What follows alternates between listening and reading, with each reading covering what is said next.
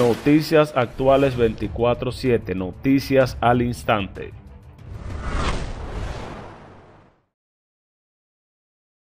Noticias de Venezuela hoy 25 de octubre del año 2020.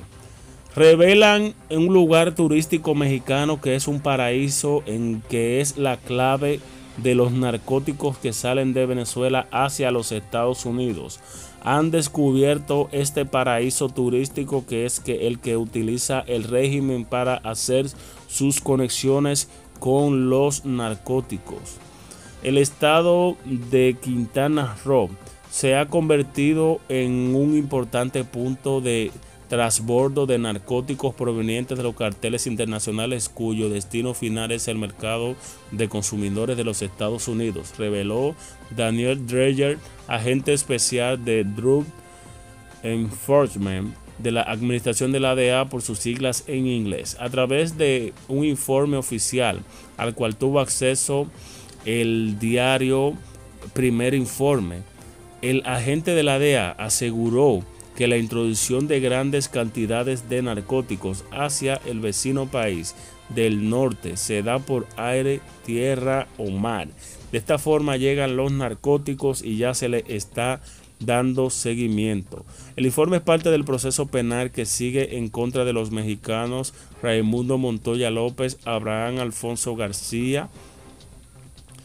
eh, esto es lo que hemos visto, señores, según los seguimientos García Montoya y Fernando Díaz Hernández, capturados hace casi dos meses frente a las costas quintanarroenses, cuando a bordo de una lancha pretendían transportar cerca de tres toneladas de narcóticos hacia los Estados Unidos.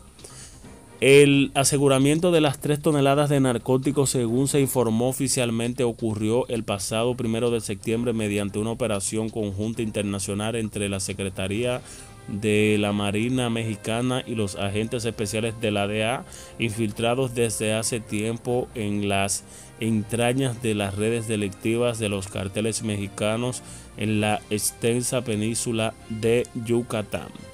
Se estaría, señor, estaríamos hablando de una hermosa isla, la península de Yucatán, que es señalada por la Oficina Antinarcóticos Antidroga de los Estados Unidos como el lugar usado como la escala por el narcotráfico, narcotraficantes mexicanos con sociedades criminales en Venezuela, Colombia y Centroamérica para desde este lugar enviar los narcóticos a los Estados Unidos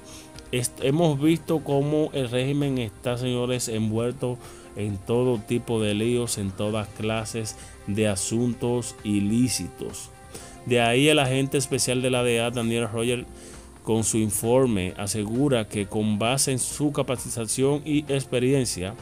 ha aprendido que Quintana Roo es un importante punto de transbordo para los narcóticos, especialmente la cocaína que se lleva a Estados Unidos y que la mayoría de esta droga que se transborda a Quintana Roo termina en nuestro país. Otro informante de la DEA cuyo nombre se omite explica en declaraciones por las pistas clandestinas en la península de Yucatán y sobre todo en Campeche ha crecido de manera exponencial desde el 2015. Solo en el 2019 y 2020 se han confiscado 16 narcoavionetas, todas abandonadas y algunas incineradas. Con la reciente aprehensión de El Padrino, como se conoce al general Salvador Cienfuegos, se encendieron los focos rojos y nuevamente las investigaciones de la DEA se intensificaron hacia esta península donde el Campeche, Yucatán y Quintana Roo en los tiraderos de los narcóticos de los narcotraficantes mexicanos de los DTO, quienes desde hace tiempo han pactado enormes negocios con colombianos y centroamericanos para construir decenas de pistas clandestinas, sobre todo en la zona de Quintana Roo y Campeche. Comparte, suscríbete, dale like, activa la campanita para que te lleguen las notificaciones. Nos vemos en un próximo video.